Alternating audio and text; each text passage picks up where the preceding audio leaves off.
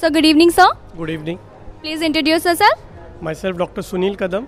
I'm a pediatrician working in Maharashtra in remote area of Ahmednagar district. So what are the tips you want to give our upcoming generations? The only thing I would like to say is that uh, some doctors should also try and go to the rural areas and practice in rural areas where they are needed the most instead of going uh, everybody settling down in the cities. Because uh, I being born and brought up in Mumbai I have started my practice in Ahmednagar in a very remote area. And I find that there is a lot of vacancy for doctors over there. People need them the most. And uh, illiterate people who cannot pay for their kids the doctors are needed over there. So, what are your achievements till now? I'm practi- practicing for the last 20 years, and it's a very remote area which doesn't have access, road access.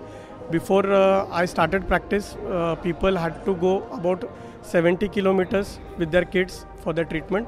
So that is my biggest achievement. That in spite of being born and brought up in Mumbai, I have started practicing in a, room, a rural, a rural area where not many, many doctors venture out. Thank you, thank you so much, and many, many congrats. Thank you so much, and thank you very much.